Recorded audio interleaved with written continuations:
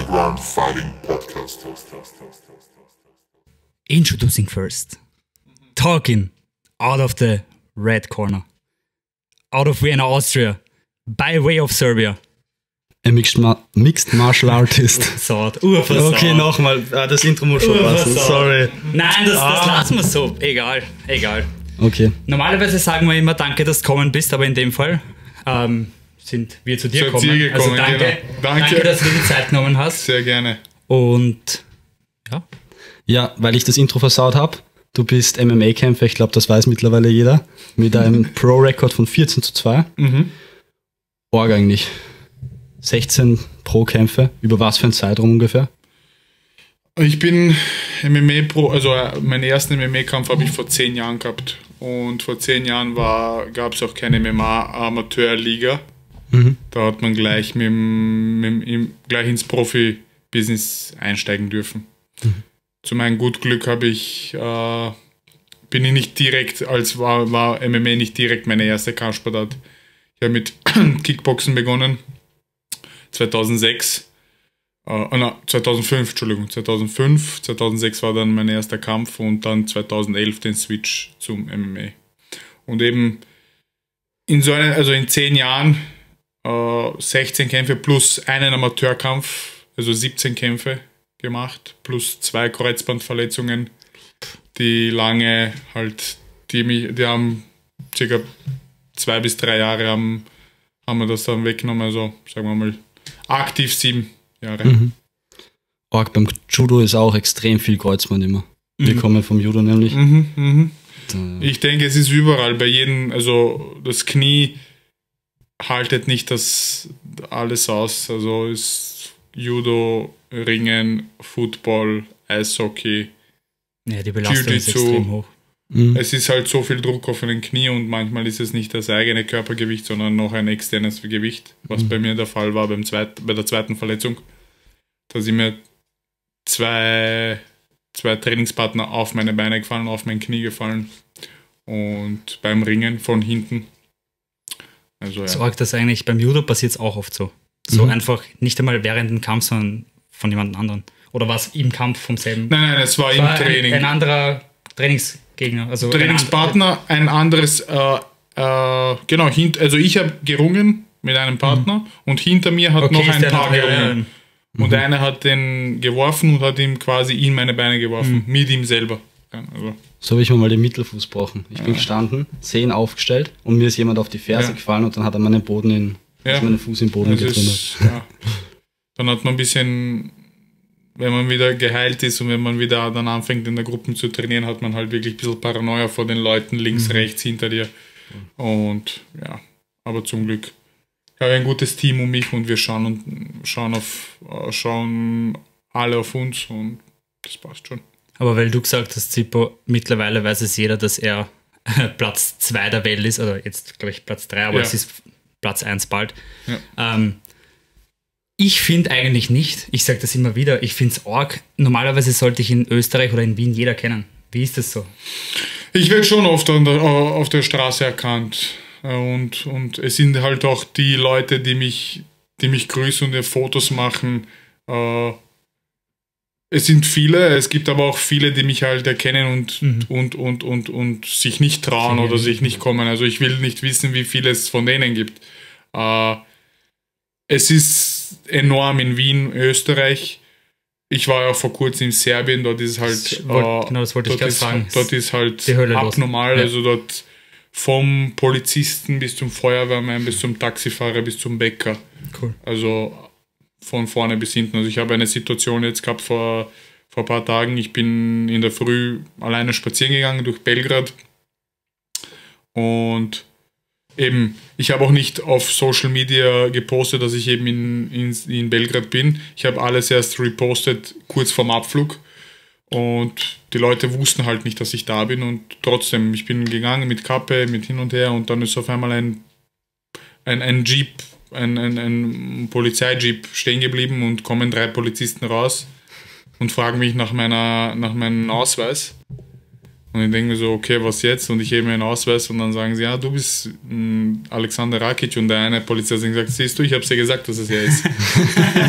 also sie haben es eben nicht geglaubt, dass ich das bin und hin und her und dann reden und hin und Auf einer Seite ist es sehr schön, äh, es, man wird wirklich unterstützt, auch generell über, überall. viel besser, oder? Ach ja, also überall auf der Welt. Also ich höre wirklich von überall irgendwas. Mein Trainer war jetzt in Kroatien auf, auf Urlaub. Dort haben sie ihn erkannt durch, äh, erkannt durch mich, genau. Der durch, kommt auch ja, demnächst. durch, durch mich und, und, und eben auch von meinen Trainingspartnern, die Eltern, durch die Fotos, durchs Instagram sieht man halt mit denen, wie ich trainiere und dann, es ist sehr schön. Ist cool. Und was gefällt dir besser? Also eher so ein bisschen ruhiger in Wien oder wirklich der Trubel in, in Serbien? Ich finde, eine Balance zwischen ist immer gut. Also zu ruhig ist nicht gut. Man will halt eben auf, auf Aufmerksamkeit erregen.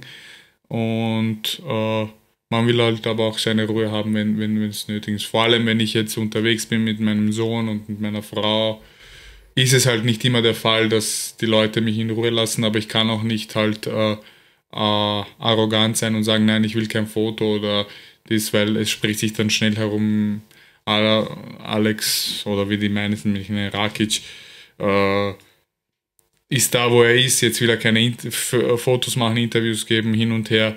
Das ist nicht der Fall. Also, ja. Da wollte ich auch nur fragen, weil wir haben über das im Vorfeld ein bisschen geredet gemeinsam.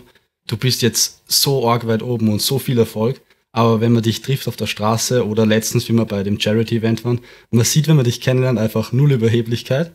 Und ist es was, wo du, weißt du, aktiv dran arbeitest, machst du da irgendwas dafür? Weil es gibt schon viele, kommt mir vor, egal ob es jetzt im Kämpfen ist oder irgendwo anders, wo es du merkst, okay, vielleicht hat er sogar jedes Recht, dass er ein bisschen, weißt du, überheblich wirkt, aber da gibt schon viele.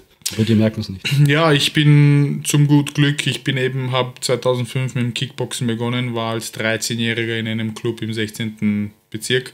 Habe dort auch meinen allerersten Trainer gehabt, den, den George äh, äh, aus Rumänien. Mit dem habe ich noch tagtäglich Kontakt. Er ist eben mein erster Trainer und ich bin wie sein Sohn. Also wir haben viel Zeit miteinander verbracht. Also in der Zeit von 13 bis 18, wenn sich der Charakter eben ausprägt und wenn man weiß, okay, in welche Richtung man geht im Leben, da war eben er ein sehr wichtiger äh, Bestandteil in meinem Leben. Ich habe viel mit ihm geredet, viel, viel, äh, also viel Zeit verbracht in dem Zeitraum und wir haben auch, er halt immer ein bodenständiger und hat mir immer auch gesagt, wir sind alle Menschen und, und, und jeder kann was Besseres. Du kannst was Besseres, was ich nicht kann. Ich kann was, was du nicht kannst. Und so macht das die Runde. Also äh, man sollte dankbar sein und man sollte auch äh, nicht überheblich wirken. Und manchmal, leider Gottes, gehört es jetzt dazu, vor allem in der Situation, wo ich jetzt bin in der UFC, wo ich eben provozieren muss, wo ich eben Trash talken muss, weil äh, es die UFC so verlangt, nicht direkt, sie sagen es mir nicht direkt, aber du bekommst nicht das, was du willst, wenn du das nicht machst. Und im Endeffekt ist die UFC ein also ist die Nummer eins Entertainment und dann ist es der Sport. Und deswegen die Leute, die mich nicht kennen, äh, entscheiden gleich, schau, er redet blöd, er redet das, aber das ist halt, das gehört zum, zum Job dazu. Und aber alles andere, wir haben jetzt zwei, drei Mal uns gesehen oder so. Wir haben Voll, uns, genau, und, und, und ja, also ich bin ein ganz normaler Ma Mensch, also ich führe ein ganz normales Leben und mache das, was ich liebe und das that's it. Cool. Aber weil du schon mit äh, die UFC angesprochen hast, wie viel ist da eigentlich dahinter ähm, bei der UFC? Weil wir, man sieht ja nur, okay, Alex geht in, in den Cage, er trainiert ein bisschen, geht in den Cage, zieht sein Ding durch und kommt zurück. Aber was ist dahinter? Hast du viel Kontakt mit der UFC? Musst du da irgendwas, gibt es da Verträge dazwischen oder hast du ein Gespräch mit Papa Dana oder irgend sowas? Also irgendwas, was man nicht sieht. Naja, es gibt eben am Anfang hat man sein Management und am Anfang ist es relativ easy. Das Management übernimmt alles, die ersten Kämpfe, äh, äh, Verträge hat man einen UFC-Vertrag und dann pro Kampf bekommt man eben einen Kampfvertrag, den man unterschreibt und dann eben läuft das alles ab. Man bereitet sich vor, die Fight Week beginnt, in der Fight Week bekommst du dann noch einen Plan, äh, einen Stundenplan, wann du was hast, Fotoshooting, Interviews mit dem, dem, dem, äh, Media Day, Abwaage, Kampf, äh, also das. Äh, jetzt dann, wenn man eben in den Rankings aufsteigt, wenn man in den Rankings aufsteigt und dann wenn man auf äh, Aufsehen erregt und eben, wenn man eben in den Top 5 ist, wie ich es jetzt bin, hat man dann halt mehr Kontakt mit der UFC und äh, ich habe den Dana, also ich habe den, ich hab den Dana White äh, kennengelernt, ich habe ihn drei, vier Mal gesehen, auch kurz mit ihm geredet. Meine Ansprechperson ist mein äh, Matchmaker, der Mick Maynard. Mit dem habe ich mich äh, vor ein paar Tagen gehört äh, über, über, über, übers Handy. Ich habe seine Nummer und im Endeffekt äh, habe ich auch Kontakt direkt mit der UFC, aber das meiste macht, das, macht auch mein Management. Okay, das heißt eigentlich immer gestaffelt zur Fight Week und der Rest ist dann so ab und zu mal ein Telefonat oder so. Also nicht so viel, wie man sich vorstellen könnte. Ja, nein, nein es Okay, ist also so, wir haben ständig, ständig Gespräche über die nächsten Kämpfe, aber momentan ist das Eis so dünn und die Gegner so wenig äh, zur Verfügung in meiner Situation, dass eben viele, viele Gespräche gibt, wie man was machen kann, strategisch hin und her und, und ja, also Dazu vielleicht noch, was du vorher schon angesprochen hast. Du hast gemeint, es ist nicht nur Fight-Business, es ist auch Show-Business, zu einem Ja. großen Teil. So One FC zum Beispiel, die machen es ja bisschen in die andere Richtung, wenn mehr, wenn man das so von außen anschaut. Die machen mehr so das Kämpfen im Vordergrund und die Show ein bisschen im Hintergrund. Die, die Kämpfer verdienen aber auch weniger und es ist halt nicht so populär dann eigentlich, oder? Wie, weißt du, siehst du irgendwie einen Weg, wie man das Kämpfen wie, noch mehr in den Vordergrund, Vordergrund bringt?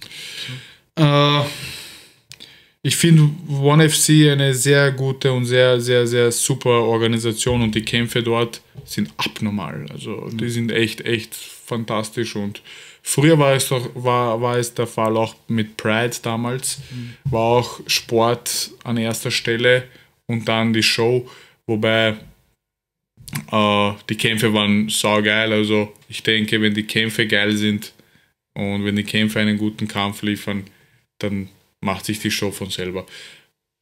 Wir sind halt eben in, in, der- also in der UFC, wir sind halt in Amerika und in Amerika ist es halt der Fall, alle, alle wollen halt das Große und Show und hin und her. Es ist ein bisschen re respektlos gegenüber den Kämpfern, äh, dass sie die Show in, in, in, in, in Vordergrund stellen und das Entertainment. Aber natürlich, die wollen ja auch was verdienen. Im Endeffekt, äh, äh, im Endeffekt will jeder was verdienen und man, wir leben leider in dieser, ich will nicht sagen leider, aber wir leben jetzt in dieser Zeit, wo, wo das, das Brot, und, Brot und Butter ist und that's it. Wir müssen, uns, wir müssen damit klarkommen. Aber, Entschuldigung, dass ich da spreche, aber One FC, also ich finde, die machen, die sind echt professionell und die machen echt, echt, echt gute Fights und ja, und die werden auch immer populärer. Also es braucht Zeit, aber ja. Ich meine, es wird eh wahrscheinlich für alle gut sein, denke ich mal, wenn, weil jetzt ist halt UFC ist halt Nonplusultra, es gibt nichts Größeres und so, aber wenn alle anderen auch höher kommen, ich glaube nicht, dass UFC dann kleiner wird, ich glaube, dass alles mitträgt und die Kämpfer je überall mehr Geld kriegen wahrscheinlich. Könnte ich mir vorstellen. Auf jeden Fall, der MMA-Sport generell entwickelt sich von Jahr zu Jahr immer weiter und weiter und die Kämpfe werden immer attraktiver und es ist, es gibt jetzt kaum zu sehen, wie früher im Pride ein Striker gegen einen Grappler. Jetzt kann jeder alles. Jetzt kann jeder striken, jeder ringen, jeder grappeln und, und eben das ist, das, das, das, der Sport entwickelt sich und natürlich eben die Popularität generell auch in Europa und auf der Welt er, er, er, ähm, erreicht einen neuen Status und es wird immer mehr und mehr gesehen und natürlich können die Kämpfer auch dazu regelrecht bezahlt. Übrigens, bei uns im Podcast darf man gern trinken, gell? Kannst da Nocco nehmen, Wasser. Dankeschön. Danke, danke, das danke. deins? Ja, das ist seins. Okay, gut. Magst du mit der nächsten Sache weitermachen? Ähm, ja, weiß nicht, Corona-Thema ist, glaube ich, interessant auch. Ähm, was bist denn du für, so, für ein Kämpfer? Bist du eher einer, der den Trubel rundherum mag oder war die Corona-Situation gerade für dich angenehm? Weil du sagst, okay, ich brauche das Ganze nicht, das, die Leute machen mich eher nervös. Bist du Mhm. nervös vom Kampf? Oder wie schaut das so aus bei dir? Es ist immer ein Vor- und Nachteil mit dem. Ich habe jetzt zweimal, zweimal gekämpft mit, äh, äh, zweimal ohne Fans gekämpft und ich muss sagen, es ist anders als mit Fans, aber ich will jetzt nicht sagen, dass es schlechter ist. Ich habe meine, äh, meine Coaches besser gehört. Äh, die Coaches von meinem, von meinem Gegner habe ich besser gehört und meinen Gegner habe ich gehört. Also durchs Atmen kann ich schon, schon erahnen, wie müde er ist oder wie erschöpft er ist. Das sind kleine Details, die einen Kampf äh, schon ausmachen können.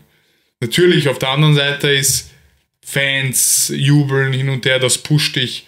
Ich bin so einer, ich habe das auch immer gesagt, mir ist es echt egal, wo ich kämpfe. Ob ich kämpfe in Las Vegas im MGM Grand oder ob ich kämpfe im Park gegen einen, gegen einen, einen natürlich einen offiziellen Kampf, äh, ist mir das eigentlich wurscht. Ein Kampf ist ein Kampf und ob es dort ist oder da ist, ist für mich persönlich wurscht.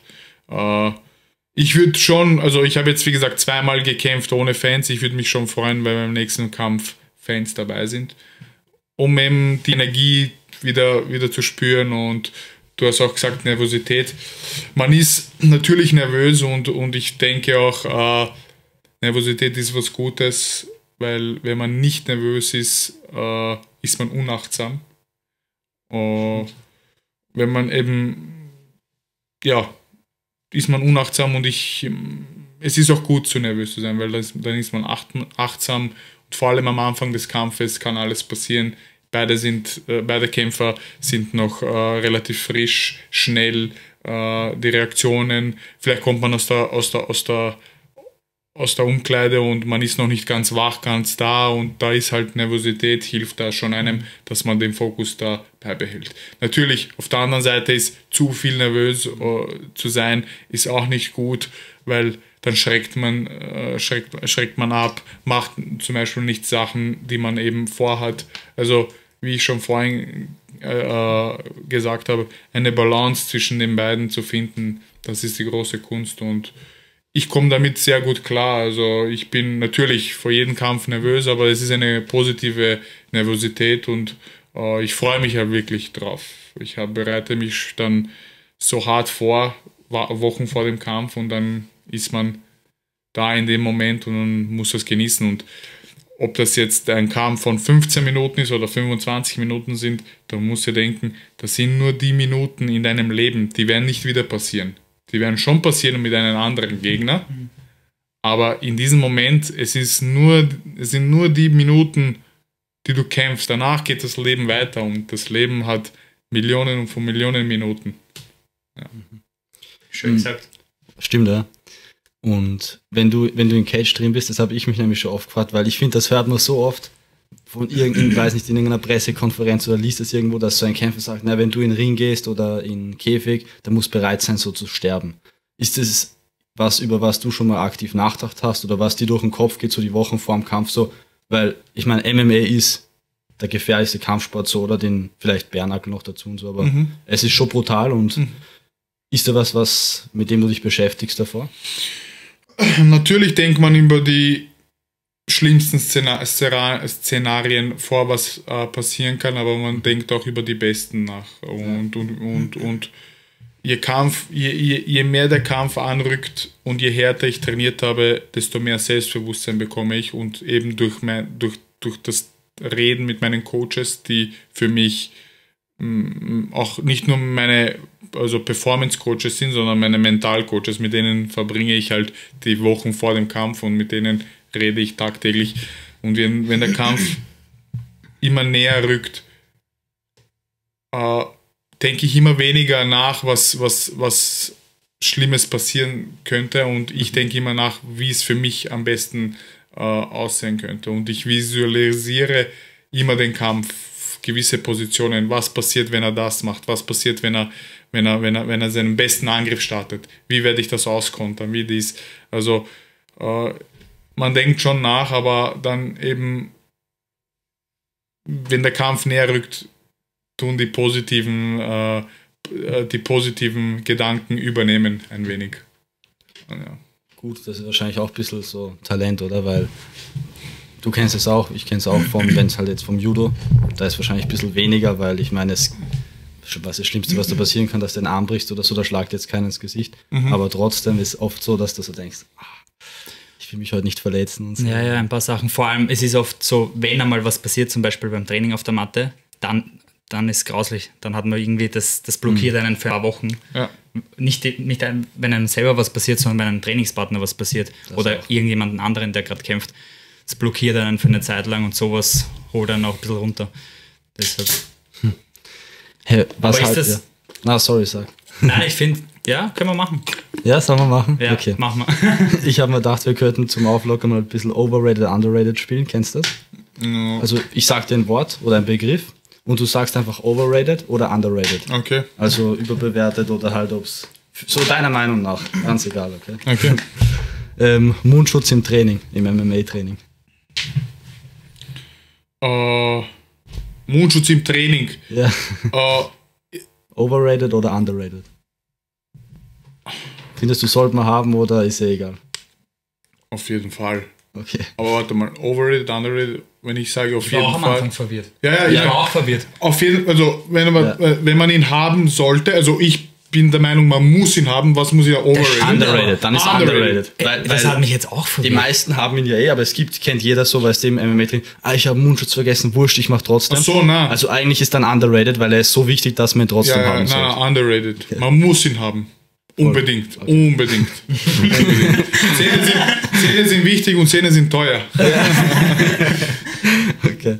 Ähm, früh aufstehen als psychologischer Vorteil gegenüber dem Gegner. Der noch schlaft. Underrated. Underrated? Ja, Ein Nocco vor dem Training.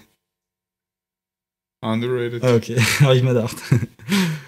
Kaltes Wasser zur Regeneration. Underrated. Auf jeden Fall. Da können wir nachher eh noch reden, glaube ich. Ja, Und Krafttraining im MMA-Sport. underrated. Das ist ein Muss. Supplemente zum Performance Underrated. Ja. Und Shoutout Podcast. Underrated. Geil. Man muss, man muss halt eben, man muss auch den, den, den, den, den in, in, in dem Fall euch oder den anderen Jungs was äh, geben. Natürlich baut sie euch natürlich auch gerade auf und hin und her und, und, und äh, es war bei mir nicht anders. Also eben, ich habe keinen Podcast gemacht, aber ich habe angefangen zu trainieren. Und natürlich will man mit den besten Trainern trainieren und am Anfang der Anfang Karriere, man hat halt nicht so viel Geld zum, zum Trainer zahlen hin und her. Und ja, da, da kommt halt eben was zurück und Trainer helfen dir und hin und her. Also, ja, ja, danke auf jeden Fall. sehr gerne. Letzter. Jiri Prohatzka. Underrated. Okay, mhm, cool. Da hoffen wir, dass ein Kampf kommt. Oh na, Blödsinn. Overrated. Entschuldigung. Er ist overrated? Overrated, ja, ja. Ja, beide Antworten hätten passt, oder? Weil ich meine, Er ist overrated Okay. als Kämpfer. aber wa was sind seine stärksten Qualitäten, sagst du? Und seine schwächsten? Wo, wo erwischt ihn, glaubst du? Er hat viele Löcher im Kampf. Äh, im, im, im, er ist seine, seine Deckung, seine Deckung ist jetzt nicht die beste. Er kassiert wirklich viel und in jedem Kampf ist er fast, also in jedem Kampf ist er angenockt. Stimmt. Also im letzten Reyes-Kampf, der Kampf hat sechs, sieben Minuten gedauert, er war zweimal angenockt. Ich war in sieben Kämpfen einmal angenockt. In meinen in UFC-Kämpfen. Sieben Kämpfen. Einmal angenockt. Er war in sechs Minuten zweimal angenockt. Von einem Kampf. Also, und ich finde einfach, er, hat, er ist ein, ein, ein sehr, sehr, sehr starker Gegner. Äh, seine Attacken, er ist halt unorthodox. Er bewegt sich halt komisch, halt, was man nicht erwartet. Äh, eine gute Kondition hat er. Ich finde sein Wrestling und sein Grappling, wenn ich mich nicht täusche, habe ich nicht viel gesehen, aber das, was ich gesehen habe, finde ich nicht auf, auf meinem Niveau. Äh, ich bin ein Striker, also ich, ich unterschätze ihn auf keinen Fall. Ich sehe meine, meine Chancen sehr gut und äh, ich habe ein sehr gutes Team um mich, die alle meine Gegner studieren, speziell jetzt ihn in den letzten Wochen. Sehr, also studieren wir ihn sehr viel, weil wir daran glauben, dass er der nächste Gegner wird. Und ja, also man muss äh, Jiri Prohaska fühlt sich wohl im Käfig nur, wenn er Chaos errichtet. Also wenn, wenn Chaos passiert, wenn, wenn, wenn, wenn es hin und her geht. Aber wenn du Ordnung ins Chaos bringst, und das kann ich, Mhm, das stimmt wirklich. wenn du Ordnung ins Chaos bringst, dann kannst du ihn brechen. Und bis, bisher hat es der Reyes nicht geschafft und der Vulkan auch nicht. Äh, ja, das ist, das ist meine Meinung zu ihm. Ich finde ihn als Kämpfer, also als Kämpfer einen, einen sehr, sehr starken Athleten. Das, was er macht, ist sehr gut. Nur er bekommt halt eben jetzt den Push von der UFC, weil er eben so ist, wie er ist. Seine Haare, äh, wie er kämpft hin und her. Aber ich finde eben zu überbewertet. Äh, ich, Hype ist schön und gut. Nur der schnelle Hype, ich bin kein großer Fan vom schnellen Hype. Man hat es gesehen bei Volkan Özdemir. Drei Kämpfe, hat um den Titel gekämpft, hat verloren gegen DC und jetzt hört man gar nichts mehr von ihm. Johnny Walker, das gleiche. Drei Kämpfe, drei Siege, hat gegen Corey Anderson gekämpft, ist K.O. gegangen, hat dann noch einen Kampf verloren gegen Krylov, glaube ich. Man hört jetzt gar nichts mehr von ihm. Jetzt kämpft er gegen Thiago Santos, ein su- super wichtiger Kampf für ihn. Äh, Hamza Chimaev, zwei Kämpfe, mega großer Hype. Ein Jahr jetzt nicht gekämpft durch Covid hin und her. Man hört jetzt auch sehr wenig ihn, von ihm. Also, Hat, hat er nicht aufgehört? ah, Habe ich er, auf kämpft, Instagram gelesen. er kämpft jetzt gegen, gegen einen Chinesen im November, glaube ich. Voll. Genau. Stimmt, ja. Und ich bin meiner Meinung nach, der Hype ist gut, aber ich baue mir meinen Weg langsam auf, weil ich will, lang, ich will auch lange wieder auf der Spitze bleiben. Wenn ich schnell, ich bin nicht gekommen, schnell rauf und schnell wieder runter. Ich bin langsam rauf, lange bleiben und dann, wenn ich entscheide, dann. Und deswegen, dass wir, dass ich die, dass ich nicht mehr wei also weiterrede über das, ich finde Iri als Hype überbewertet und ich, ich werde das auch äh, demonstrieren und zeigen, wenn die Möglichkeit dann da ist. Wir freuen uns drauf. Ja, extrem. extrem. Extrem, ja. Ja, was mir so, das muss ich jetzt auch nochmal loswerden, was mir so taugt an einem Kampfstil ist einfach, also deine Explosivität, die Geschwindigkeit und so wie du gesagt hast, du bringst Ordnung ins Chaos und da wollte ich eh auch fragen, wie machst du das? Ist das einfach, was dich motiviert? Es war schon oft so Trash-Talk, wo irgendjemand was bei dir im Kampf gesagt hat und ich habe irgendwie so das Gefühl gehabt, so, sag's ihm ruhig, es bringt ihn nur noch, es macht ihn noch konzentrierter und er wird noch gefährlicher, aber nicht hysterisch. Und das finde ich so extrem arg an, an deinem Kampfstil einfach. Denkst du dir was oder passiert das automatisch oder wie ist das? Das ist durch die jahrelange Erfahrung. Ich bin halt, ich habe eben jetzt 16 MMA-Kämpfe, aber ich bin auch sehr erfahren. Ich bin lange in dem Sport und ich habe wirklich einiges gesehen. Und ich habe gegen Leute gekämpft, die viele Kämpfe gehabt haben, sehr erfahrene Kämpfe und habe, ich habe äh, einfach mit meiner Erfahrung sie übertroffen. Zum Beispiel Smith. Ich habe mit meiner Erfahrung Smith übertroffen, was die meisten Fights in der Light Heavyweight in der Top 10 hat. Also, äh, und natürlich, äh, das Reden, die wollen eben halt nur, die wollen eben halt nur, dass ich in deren Spiel spiele oder Ja. es, es, wenn ich am Boden bin, mit denen sagen, komm, steh auf, komm. Das, in dem Moment schalte ich das alles ab und in dem Moment ist, zählt nur der Kampf und meine Performance. Und eben Ordnung ins Chaos bringen, und in den Kampf zu bringen und systematisch den Gegner äh, bezwingen. Natürlich, jeder möchte einmal ein K.O. sehen oder eine Submission oder einen fetten Kampf. Aber ein K.O. passiert von selber. Man kann es nicht erzwingen und ich will es auch nicht Wir haben erzwingen. schon ein sehr schönes von dir gesehen, nämlich. Ja, Aber das war. Es wird, so Gott will, noch einmal passieren. Gegen jemanden anderen. Aber ich will nichts erzwingen. Es war eben in diesem Moment, war es die richtige Entscheidung, das zu machen. Und ja, also die Leute reden halt, warum ich meine letzten zwei Kämpfe nicht beendet habe. Vielleicht Smith hätte ich beenden können gegen Santos, weil es ein Hinher. Äh, ja, wie gesagt, es ist mittlerweile, der Sport entwickelt sich und die Gegner von mir bereiten sich ja auch vor. Die kommen ja nicht zum Verlieren. Ja, Die bereiten sich auch vor, die studieren mich auch, hoffentlich. Aber Na sicher. Ich, ich, ich weiß, dass sie das machen. Sie studieren mich aus, sie haben ja noch ein gutes Team um mich. Also es ist ein Schach, es ist ein Schach, Schachspiel.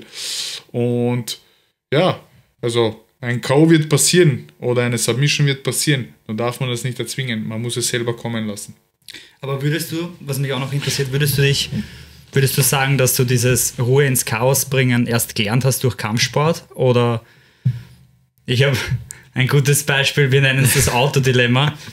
Jeder kennt es, also in Wien erst recht, man fährt durch die Stadt und wird anguckt und das ist total mühsam und der schreit dich vielleicht sogar an oder teilweise sogar Zeigen ist mir schon Finger. vorkommen in Wien. Der macht von vorne die Tür auf und ich denke mir, okay, was soll das jetzt? Äh, Bist, warst du immer schon, würdest du jetzt in der Situation ausflippen oder hat dich der Kampfsport zu dem gemacht, der du jetzt bist, also ruhiger und Ordnung ins Chaos bringen? Ja. Oder Auf jeden Fall. Also Kampfsport hat mich, hat mich zu einem ruhigeren Menschen gemacht. Also ich bin generell ein sehr explosiver Mensch und sehr, äh, man nennt mich nicht umsonst Rocket, weil ich bin eben als, als Jugendlicher und so war ich eben auch, äh, ich habe mich schon im Park viel geprügelt und ich habe mir nichts an, also nichts gefallen lassen. Und natürlich, wenn mich jemand anruft und beschimpft, natürlich schimpfe ich zurück. Also ich werde da nicht jetzt stracks weiterfahren und, und so sein wie, äh, so, wie, wie als wäre nichts. Aber was ich nicht machen würde, ist jetzt, wenn jemand jetzt aussteigt aus dem Auto und ich steige aus, dass ich als erster hinschlage. Das Ja, wird der nicht, läuft eh weg. das wird, das wird, das, das, das, wird, das wird nicht passieren, weil ich, bei, ich weiß, was ich, äh, was ich zustande bin, mache mit einem Schlag Ja, Und, und für das meine Karriere zu riskieren und, und mir einen schlechten Ruf zu erarbeiten, das, hat, das ist es nicht wert. Natürlich, wenn ich angegriffen werde, werde ich mich natürlich wehren. Aber da muss halt mit den Ja, Konsequenzen, äh, kon- da muss man mit den Konsequenzen leben. Und zum Glück heutzutage gibt es überall Leute, die solche Sachen noch filmen und überall jeder hat ein Handy mit einer Kamera und das wird auf jeden Fall sofort, äh, sofort äh, äh, gefilmt und sofort sieht man da, wie was war. Aber äh, ich bin Gott sei Dank, seit ich eben das professionell mache, war ich nicht in so einer Situation, also dass es, dass es jetzt eskaliert hat. Ich bin auch nicht, ich bin auch nicht in, äh, äh, ich bin auch nicht in, in, in, in gewissen Teilen von Wien oder Clubs, wo ich, wo ich angestänkert werde oder so. Ist einfach nicht mein Lebensstil. Also, das ist eins.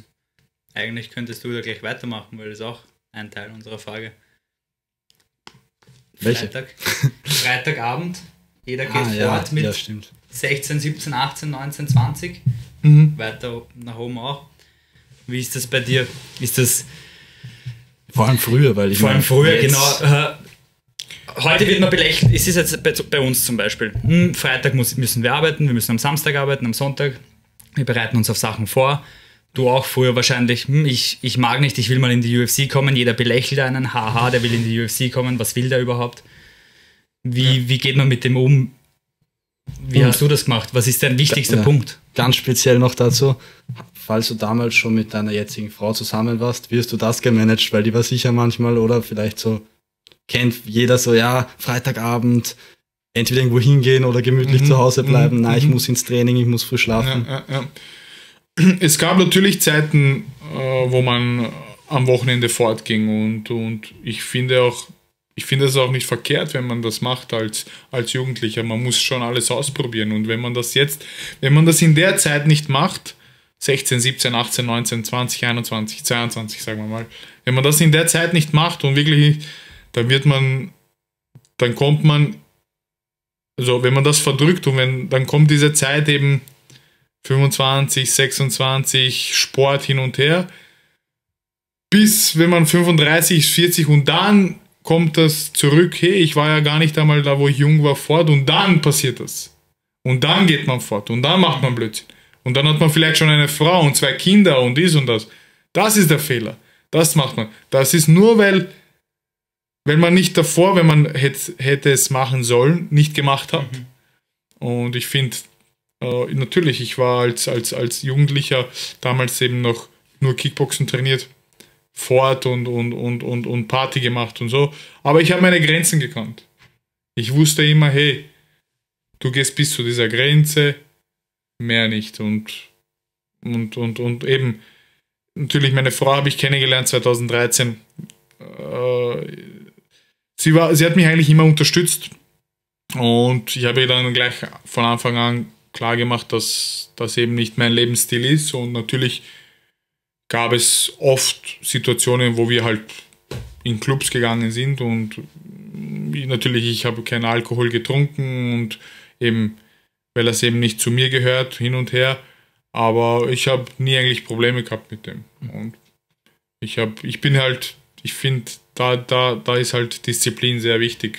Da sieht man halt, da sieht man halt, aus welchem Holz du geschnitzt bist mhm. und ob du, ob du, ob du das, ob du den Widerstand, ob, ob, ob du hart bleiben kannst. Ja. Also ja, manche, manche schaffen es nicht zum Beispiel. Also manche kämpfen und dann gehen es fort und hin und her. Und wenn ich denke mir immer so, ich gehe jetzt fort, ich habe eine gute Zeit, sauf mich an oder was auch immer, verbaue mir alles, was ich die letzten Wochen antrainiert habe und dann muss ich wieder von neu starten. So, so denke mhm. ich. Und dann warum, warum, warum mache ich das überhaupt? Warum quasi sterbe ich beim Training, um es dann am Wochenende zu versaufen? Hat für mich gar keinen Sinn. Mhm. Ich bin lieber der, der was essen geht mit der Family, mit Freunden, der ein Glas Rotwein trinkt zu einem Fisch oder einem Fleisch, was auch auf meinem, Tra auf meinem Essensplan draufsteht. Ein Glas Rotwein, Weißwein in Maßen. Äh, das ist eigentlich das Alkohol, was ich trinke, was, was, ich, was ich trinken darf. Alles andere habe ich auch, trinke ich auch nicht, habe ich auch, schmeckt mir auch nicht. Und ja, oder eben mit Freunden Freitagabend zocken, Playstation, LAN-Party. Ja. So wie diesen Sonntag. Ja, oder jeden Tag, so würde ich sagen. Mittlerweile schon. Hast du einen Lieblingsrotwein? Ah, na. Also ich, ich nehme eigentlich immer den Hauswein, wo ich bin. Mhm. Ja. Okay. Also ich trinke halt jetzt, dass ich jetzt nicht sage, ich will jetzt unbedingt diesen Wein trinken. Ich trinke ihn, ja, also nicht. Es tut halt manchmal gut. Ja, Genuss. Genuss, auch mit der Frau ein bisschen anstoßen, nicht oder, oder, oder, oder mit Freunden. Ja, ja und nochmal vielleicht zurück. Wie schaut bei dir so ein Tag jetzt, nicht weil du voll in der Wettkampfvorbereitung, sondern so a day in the life of Alexander Rakic? Das trainierst, denken wir uns vermutlich, aber so, wie kann man sich das vorstellen? Weißt du, Leben als UFC-Kämpfer? Naja, ich, wie gesagt, wie ich vorhin gesagt habe, ich führe ein ganz normales Leben. Ich wohne äh, eben mit meiner Frau und unserem Sohn. Äh, ja, also es wird mindestens einmal am Tag trainiert, mhm. außer Sonntag. Von Montag bis Samstag wird mindestens einmal trainiert. Ob das in der Früh oder am Abend ist, das, das, das hängt davon ab, ob wir was vorhaben oder nicht. Oder, äh, aber natürlich trainiere ich am liebsten trainiere ich zweimal, nur wenn ich in keiner Wettkampfvorbereitung bin, wie jetzt, oder wenn ich, wenn ich jetzt keinen Kampf in Aussicht habe, schaue ich, dass ich auch Zeit mit der Family und mit meinem Sohn verbringe. Weil es wird die Zeit kommen, wo ich mich auch auf die Kämpfe, auf die Kämpfe vorbereite und weg bin für eineinhalb, zwei Monate. Und die bleiben halt immer so klein. Mhm. Und also nicht, die bleiben halt nicht immer klein. Die wachsen auch und man will halt, ich habe auch damals meiner Frau gesagt, äh, bevor, bevor, bevor, unser Welt, äh, bevor unser Sohn auf die Welt gekommen ist. Ich habe halt nur Angst, dass ich irgendwas verpasse in der Kindheit. Aber mittlerweile, äh, es ist, also ich habe eine gute Balance gefunden zwischen dem und wie du mich vorhin gefragt hast, was ich heute mache, ich habe eben mein Training fertig, fahre dann nach Hause und hole meinen Sohn, also mein Sohn ist zu Hause und dann unternehme ich was mit ihm. Mhm. Äh, was auch immer. Park, mhm. Monkey Park, irgendwas. Also ein kleines Energiebündel, der Kleine, die Energie muss raus, damit er am Abend gut schläft. Und ja, ich genieße die Zeit. Es gibt auch natürlich Tage, wo ich in der Früh aufstehe, zum Training fahre, nach Hause komme, esse, schlafe, kurz dann mit meinem Sohn spiele, wieder aufs Training fahre, komme nach Hause, sehe meinen Sohn auch für eine Stunde, und dann geht er wieder schlafen. Aber ja, solche und solche Tage. Vor allem jetzt im Sommer äh, will man halt viel Zeit drau also draußen verbringen. Schönes Wetter und ja. Weil du gerade über deinen Sohn gesprochen hast noch. Da wollten wir noch, weil wir haben überlegt, es, ist, es muss eigentlich was verändern oder so, wenn du Vater wirst. Mhm. Verantwortung. Und ich glaube, du hast dir die Frage ausgedacht. Ähm, was waren deine Gedanken nochmal dazu? Eigentlich, eigentlich nur wie, wie der Sohn, deinen, hat der Sohn deinen Kampfstil verändert oder generell das Mindset? Weil ab und zu liest man es eh in deiner Story so, dass du es für ihn jetzt machst. Mhm. Ähm, ja, Ja, ja äh, ich war schon immer als, als Kind und als, als, als, als, als Mensch, ich bin immer ein disziplinierter Mensch und habe immer meine, meine, meine, mein Ziel oder meine Ziele gehabt und war immer sehr motiviert und ich habe das immer verfolgt. Und ich habe das eben auch nie erfahren, wie es ist, ein Vater zu werden oder wie, ein, wie es ist, ein Kind zu haben. Und dann ist eben mein Sohn auf die Welt gekommen und dann für mich war das halt eben äh, ein weiterer großer Sieg für mich und, und, und im, im Leben. Und äh, ich will einmal nur sagen oder ich will einmal nur von meinem Sohn hören, dass er einfach stolz auf mich ist, das, was ich gemacht habe. Und äh, ja, und natürlich im, im ersten Punkt mache ich es für mich, weil ich mein, weil ich ein Ziel habe und weil ich ein Ziel erreichen will, aber im zweiten, oder zweiten Art will ich es für meine Familie, dass, dass, dass denen einmal gut geht, dass mein Sohn, äh, dass mein Sohn, dass mein Sohn normal, also normal, wir, wir wachsen alle normal auf und dass mein Sohn halt eben äh, aufwächst in guten Verhältnissen, dass er machen kann, was er auf, auf was er Bock hat, einen Sport machen kann, auf was er Bock hat. Ich werde ihn auf keinen Fall in, in Kampfsport zwingen. aber wäre Ich wär sein Traum? Oder Ich würde es mir Wunsch, schon oder- wünschen und ich werde ihn auch, äh, ich werde ihn auch äh, mal schauen, wann, wann, wann er bereit dazu ist, zum, ins Gym mitnehmen. Ich werde ihm äh, anbieten, ob er Jiu-Jitsu machen will, Boxen, Ringen. Mm, Ich finde, Kampfsport ist eine sehr wichtige Sache fürs, nicht nur für, für den Körper, sondern auch für, für den Charakter und fürs Selbstbewusstsein. Wir haben immer gesagt, Fußball ist fürs Geld und Kampfsport ist fürs Mindset. So kann man es auch sagen, ja. Äh, ich werde ihn auf jeden Fall, er wird auf jeden Fall die Basics lernen müssen vom Boxen, Ringen hin und her. Dann, was er machen will, soll er machen. Ich würde mir wünschen, wenn er Kampfsport machen würde. Ich, wei- ich weiß nicht, ob, er, ob ich es ertragen könnte, ihn im Kampf zu sehen. Aber so wie es aussieht, gefällt ihm Basketball sehr gerne. Also er wirft gerne Bälle herum und in den Körben, also in den kleinen Körben. Ja, mal schauen. Das wird sich, glaube ich, noch 50.000 Mal ändern. Aber es ist eine sehr große Motivation, ein, ein Kind zu haben. Und es ist jeder, jeder Mensch ist anders. Und jeder, jeder sieht das anders. Für mich ist mein Sohn und meine Familie alles und ich würde für die alles tun. Genetische Voraussetzungen als Basketballer hätte er wahrscheinlich Ja. mit, mit seiner Größe. Ja, auf jeden Fall. Also, Stimmt. ja.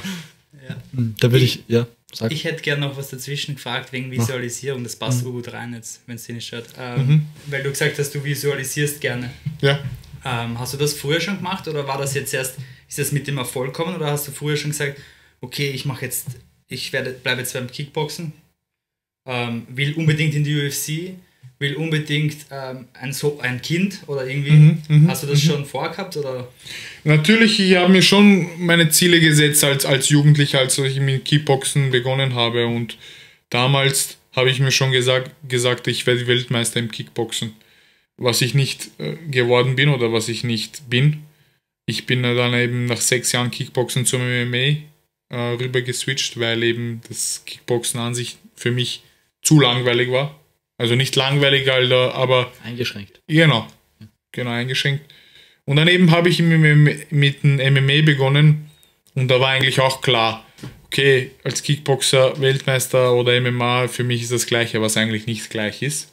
Aber damals als, als, als, als 19-Jähriger, 18-Jähriger sieht man die Welt ganz anders. und eben von Kampf zu Kampf, am Anfang die ersten drei, vier Kämpfe, wusste ich nicht mal, was das Wort bedeutet, visualisieren. Ich bin einfach gegangen, habe gekämpft. Ich habe 2012 fünf Kämpfe gemacht. Plus ein Jiu-Jitsu-Turnier.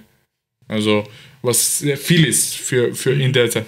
Und dann eben durch die Verletzungen, die ich gehabt habe, da habe ich halt viel Zeit gehabt, um, um viel zu lesen, viel den Sport zu verstehen, viel als, als Mensch zu wachsen und, und eben, äh, eben viel Physio gemacht, viel verstanden, wie der Körper arbeitet, was wichtig ist und eben durch die Verletzung, natürlich waren es schlimme Verletzungen, aber ich habe die Zeit äh, genutzt, um mich zu weiterzubilden. Nicht halt im Kampfsport, also schon im Kampfsport, aber halt viel im Kopf.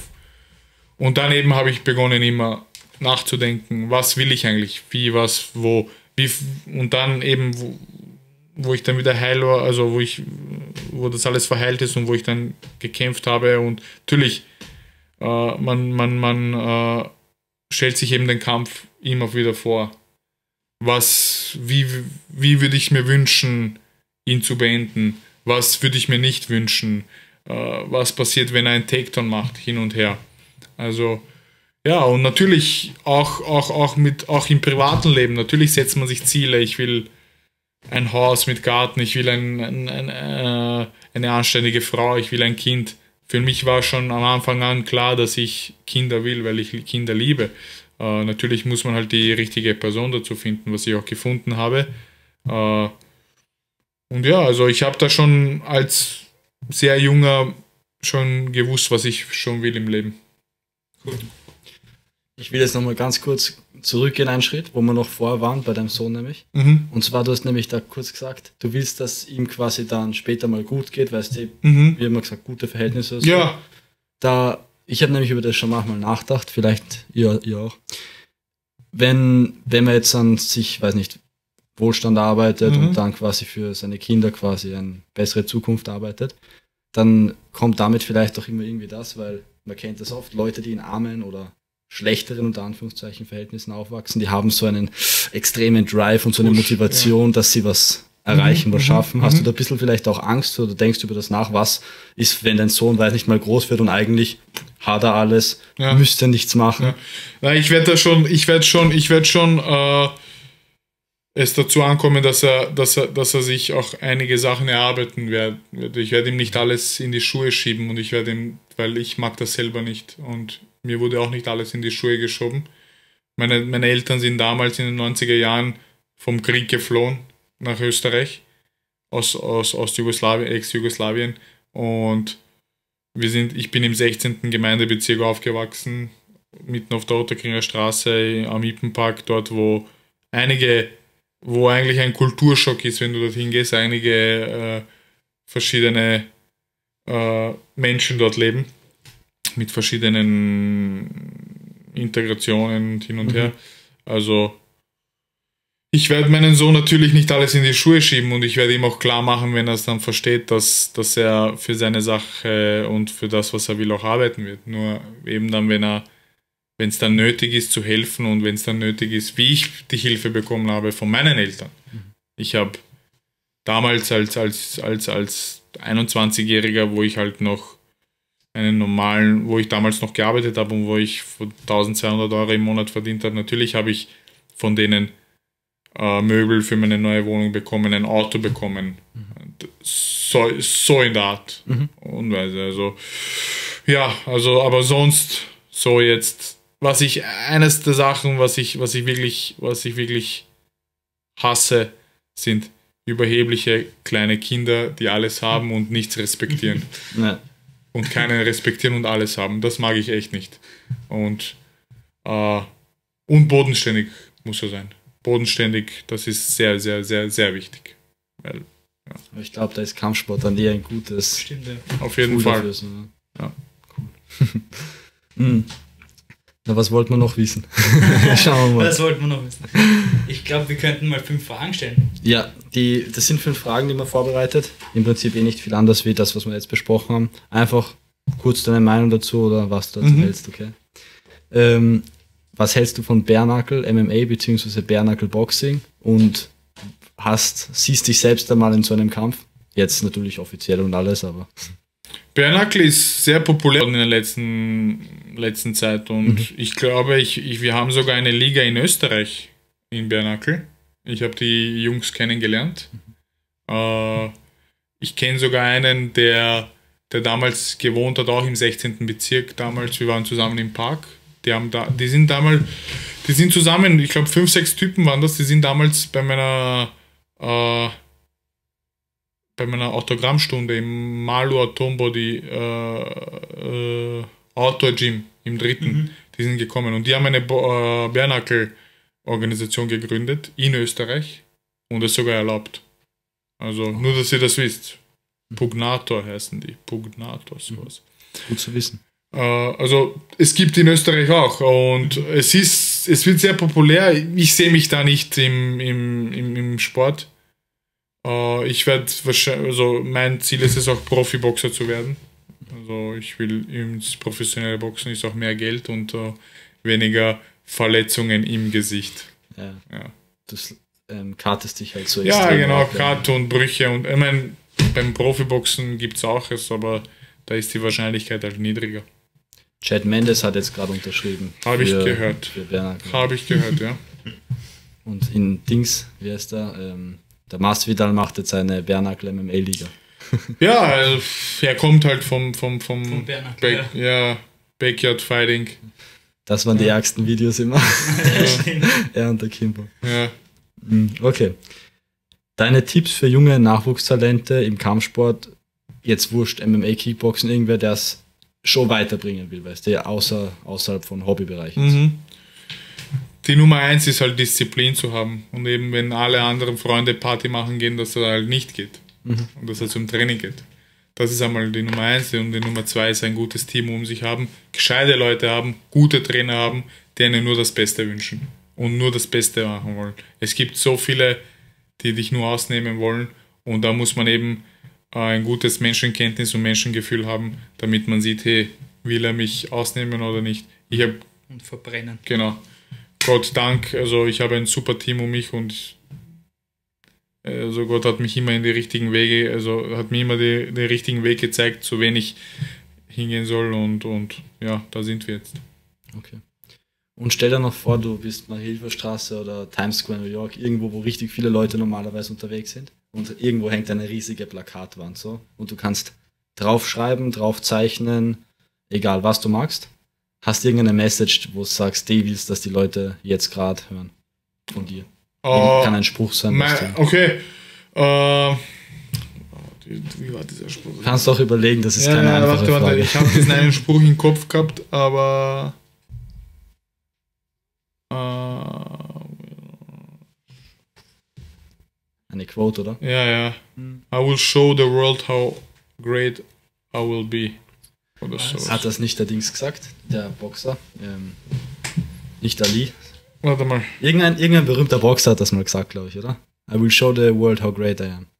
Ich weiß nicht, ich kenne das nicht. Warte mal, warte mal, warte mal. Ich, ich- warte, warte mal. So, ich Kein hab's Stress. da. Ich, ich suche das nur schnell raus, weil ich habe so ein. ähm, ich habe da so ein. Es ist jetzt übrigens, Ein Quote-Ordner. es ist jetzt eh gut ausgegangen, gell, mit dem Sitzen, weil Ja, ich habe ja. am Anfang ein bisschen Angst gehabt. Also wir haben ein bisschen Angst gehabt, dass es nicht ausgeht, weil Okay. dass der Ah, Stuhl zu klein ist. Ja, ich sitze angenehm, du auch? Ja, extrem. warte, warte, warte, warte, da haben wir. Sage ich dir gleich.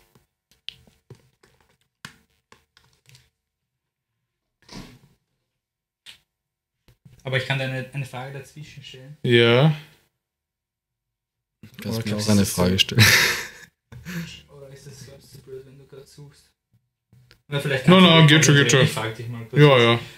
Ähm, wenn du jemanden einen Shoutout geben könntest, also Ein das was, heißt ein? ein Shoutout, das heißt du kannst jemanden herausfordern zum Kämpfen unter MMA-Bedingungen, aber muss nicht berühmt sein, muss man nicht kennen, irgendjemand, der dir vielleicht den du, mit dem du noch was klären willst oder einfach so auch zum Oder- Spaß, so, ah, der hat mich immer sigiert und keine Ahnung. Ja, auf Wienerisch, der geht am Arsch. So. Genau. Natürlich offiziell, also der will das auch. Der will das auch. Ich würde gerne mal den Dana White auf die Fresse schlagen. Gute Antwort. Aber da muss man, glaube ich, aufpassen, weil ich habe letztens ein Foto von ihm gesehen, der ist übertrieben Das auseinandergegangen. bringt ihm nichts. Ja, ja. Eh nicht, Das eh nicht. bringt ihm nichts. Aber Shoutout aus dem Grund, weil wir haben ja die Shoutout Fight League gegründet. Hast du nicht gefunden?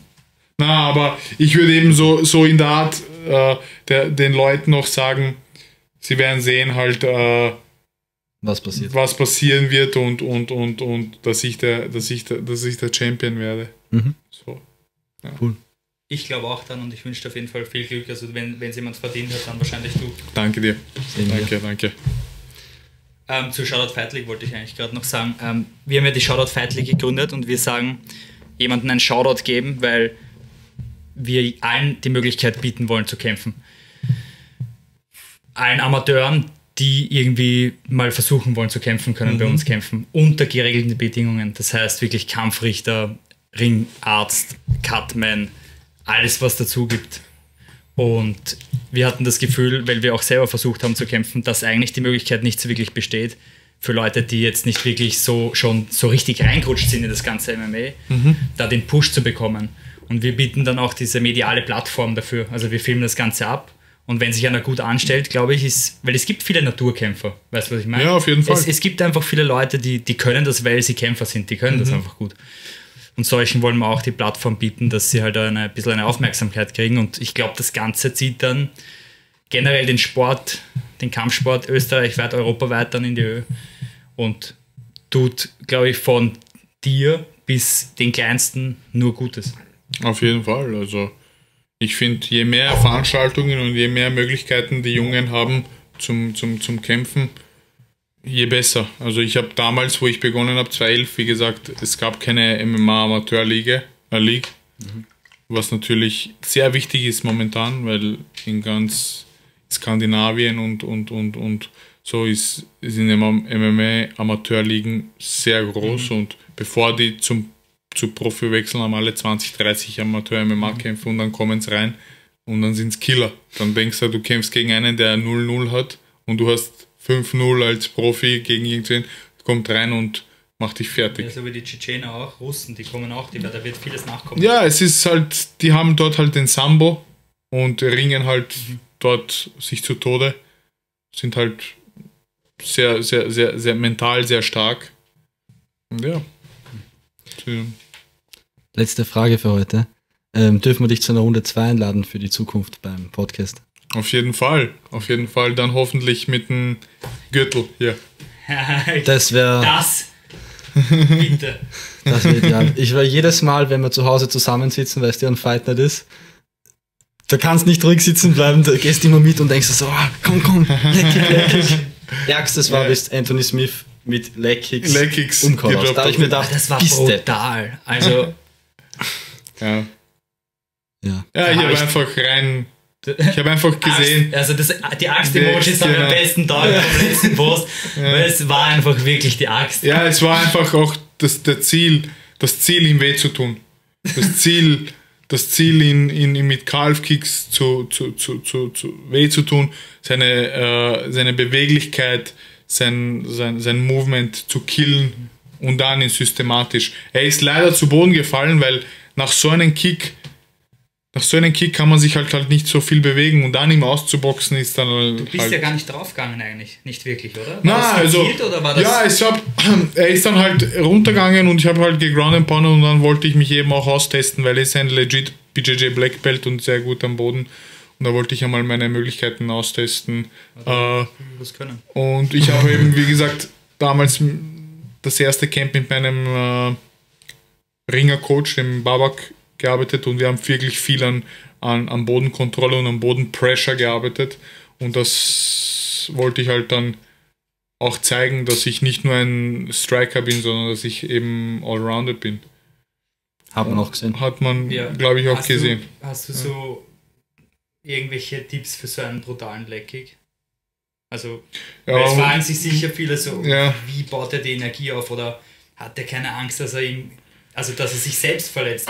das muss man eben auschecken, äh, wenn man wenn man wenn man sieht, wenn man sieht, wenn man den Kampf sieht, waren die ersten Leg-Kicks auch nicht so hart, weil du musst halt schauen, wie der äh, Gegner reagiert. Wenn er die, jeder, jeden Kick checkt, kann ich nicht Vollgas äh, kicken. Und ich habe eben einfach eben bemerkt, er blockt keine Kicks und auch die Analysen vor dem Kampf, er blockt keine Kicks. Und natürlich, wenn jemand Kicks blockt, natürlich haue ich nicht hart drauf, weil sonst was kann das passieren, was den Corner passiert, so ein Chris Whiteman oder Anderson Silva. Das will, das will man gar nicht. Man muss eben die Entscheidung, es zu machen, die muss eben zu 100% da sein und du musst auch, du musst ihn auch aufziehen, du musst ihn auch genau treffen, wann er am Vorderfuß steht. bringen. Genau, wenn er, wenn er leichtfüßig ist am Vorderfuß, kannst du, kannst du auch nicht kicken, weil dann bringt er den Fuß weiter auf. Also man muss die Situ- Situation abchecken und eben durch meine Erfahrung weiß ich ganz genau, wann ich was schlagen kann, damit ich mich auch nicht selber verletze. Aber brutaler gehen die Leg-Kicks wahrscheinlich nicht mehr, oder? Weil das ist schon sehr grenzwertig gewesen. Ich habe noch ein paar Kämpfe in der UFC, also Wir freuen mal uns schauen, mal schauen. Vielleicht mal kannst du noch ein bisschen aufladen. Mal schauen, wird schon. Aber Respekt hast du sicher bekommen. Für die, also die nächsten Gegner denken sich sicher, okay, da muss ich mal dran arbeiten, bevor der mich auch so um, umnietet mit, meinen, mit seinen Leg-Kicks. Also Ja, Hut ab. Alex, danke, dass du da warst. Gerne. Es war echt cool mit dir zum Reden und du bist für uns zwar und ich glaube für extrem viele andere ein riesiges Vorbild. Dankeschön. Ich sag, ich sag Danke danke. Und wir sehen uns auf jeden Fall noch einmal. Dann Cool, das freut uns wirklich. Ja. Danke. Ja, Mit dem Gürtel. Unbedingt mit dem Gürtel. Ohne Gürtel. Kommst nicht Ja, warten. Machen wir so. Cool. Geil. Gerne doch. Leute, bitte, bitte, bitte, bitte, wer dem Rakic, Alexander Rakic noch nicht folgt auf Instagram, macht es jetzt, klickt's und Eine Frage haben wir schon auch noch. Das müssen Na- wir schon jetzt noch weil dann können wir es gleich verkünden. was? Weil kann auch sein, dass er jetzt einfach sagt, na, mach mal nicht. Wir haben drei UFC-T-Shirts gekauft Aha. und würden gern eins in unser Podcast-Studio hängen und zwei verlosen oder eins Genau, verlosen. eins das würde ich überlegen gerne wir ins Stream hängen bei, bei mir, Ja. ins Stream rein und Ja. eins zum Verlosen für unsere Genau, das wäre cool, wenn es Ja, sehr gerne. Können wir machen, auf jeden Fall. Perfekt. perfekt, top. Macht's es gut. Danke, Alex. Sehr geil. Danke euch. Danke dir. Danke.